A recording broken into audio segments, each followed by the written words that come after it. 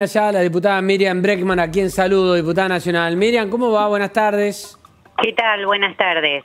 A ver, eh, varios temas, pero uno es central y se disparó ayer por un hecho grave, delictivo. Eh, fue la muerte de un eh, ciudadano armenio, un residente armenio, que fue asesinado por un joven de 15 años. Y otra vez vuelve el debate sobre bajar o no la imputabilidad de, los menores, ¿no? Y tal cual está hoy en el digesto eh, judicial, en el, digesto jurídico.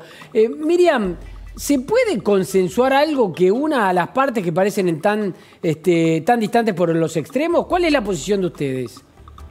Mira, creo que se ha intentado, incluso durante el gobierno de Cambiemos se avanzó, se hicieron exposiciones y la verdad es que son posturas muy diferentes las que hay. Tengo que ser sincera con vos. No veo que se pueda eh, aunar posiciones porque hay posturas muy, muy distintas en esto. Vos sabés que es un tema muy polémico, de hecho, tan polémico es que todavía sigue arreglado por una ley de la última dictadura militar. Entonces, eso significa que en todos estos años no ha sido fácil.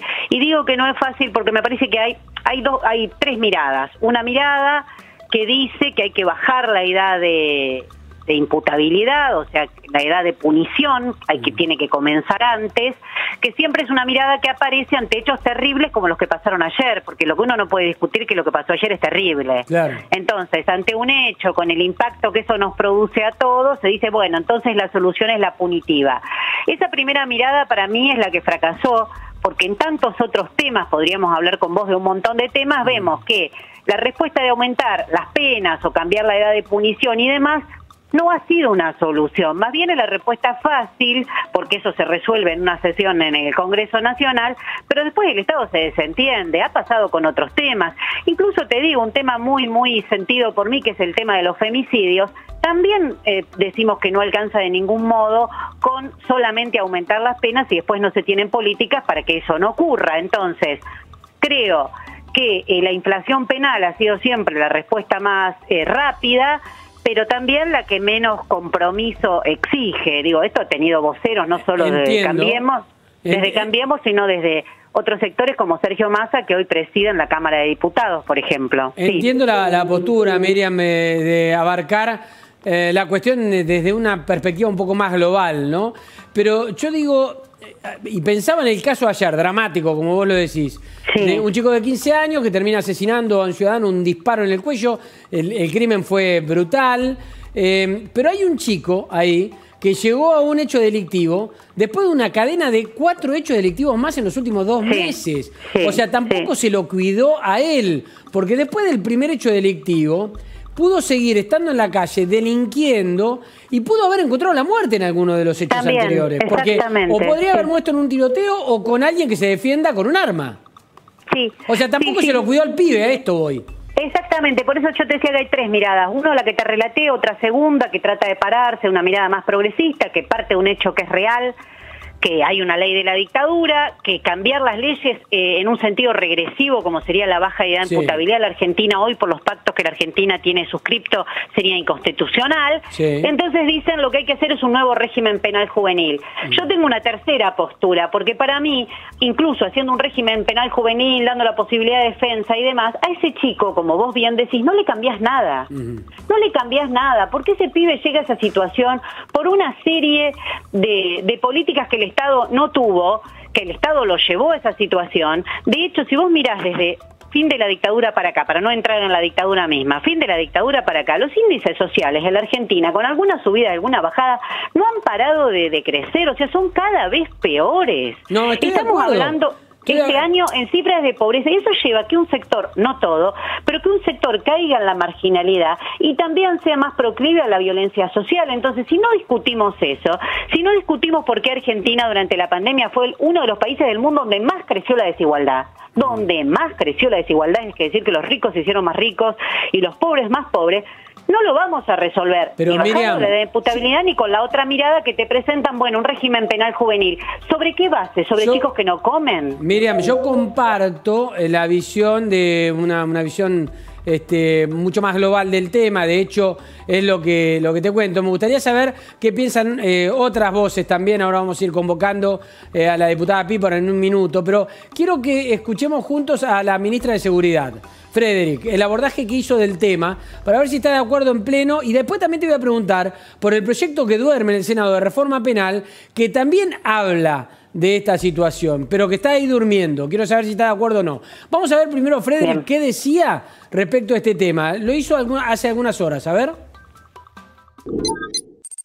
Me parece que la situación de este, este homicidio del día de hoy es, es distinto. Ahí hay una, bueno, tenemos la verdad que una población, eh, un, sector, un sector de la población eh, que está, digamos, ha atravesado una historia de, yo creo que desatenciones, maltratos que los terminan llevando a un camino sin salida, ¿no? Y, creo que hay que atender la situación de estos, de estos jóvenes eh, desde muy diferentes ángulos, muy diferentes ángulos no solo con, la sanción legal, sino también con políticas que prevengan este, este tipo de, perfiles, digamos.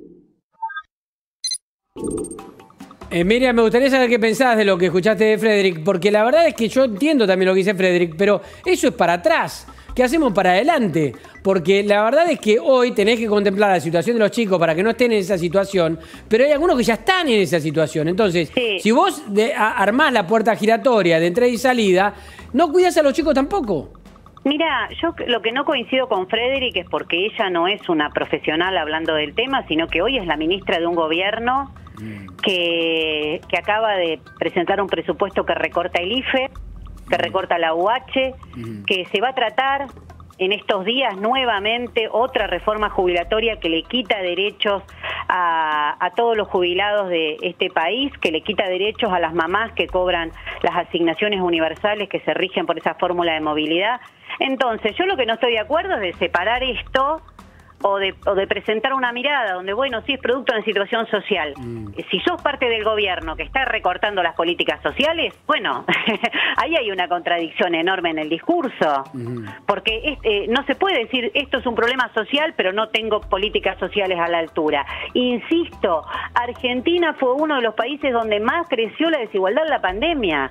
Una cosa es que la pandemia, la pandemia golpea la economía, esto pasó en todos los países del mundo, pero no en todos aumentó la desigualdad y te estoy hablando no por el modelo de país por el que yo peleo, por transformar este régimen social completamente, yo soy anticapitalista, pero incluso dentro de los márgenes de los gobiernos actuales capitalistas hubo países que aumentaron la desigualdad. En la Argentina los ricos se hicieron más ricos y los pobres se hicieron más pobres. Mm. Entonces, lo que no coincido con Frederick es que ella hable como haciendo un análisis eh, social por fuera de las políticas que está teniendo este gobierno. Porque ese chico, si ya es la cuarta vez y si es él el responsable, digo, yo no acá hasta ahora no se puede adelantar eso, pero él o cualquiera, no quiero personalizarlo en él y menos mal que menos que es un pibe, ¿no? No se puede personalizar en él, pero digo como situación más global.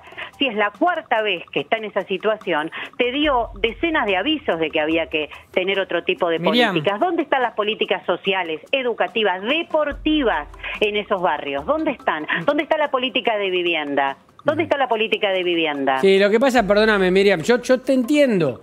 Lo que digo es, no creo que sea lo que se está preguntando eh, los familiares de la persona que murió ayer, asesinada. No, este es el punto. A esa familia hay que acompañarla porque desde ese dolor no, no se puede explicar. Y te digo, sí, pero vos tenés que acompañar esa, vos tenés que acompañar esa familia y pensar en las familias futuras que pueden pasar por lo mismo si es que no abordás lo otro. Por eso, por eso, por eso quiero que por eso creo que para abordar, para que nunca más una familia le pase esto, hay que pensar las, las, discusiones de fondo. Y la verdad que con el aumento de penas o con la baja de la edad de punición, esto no se ha resuelto, ni en Argentina ni en ningún lugar del mm. mundo, porque la dictadura ya lo bajó. La dictadura bajó dos años y no mejoró. Miriam, no, no, también no, no, habría que hacer algún tipo de autocrítica en la clase política toda, digo, de que estos hechos se empiezan a debatir también en la política cuando son noticias en los medios. Porque durante el último año, la verdad, no se escuchó prácticamente debatir este tema.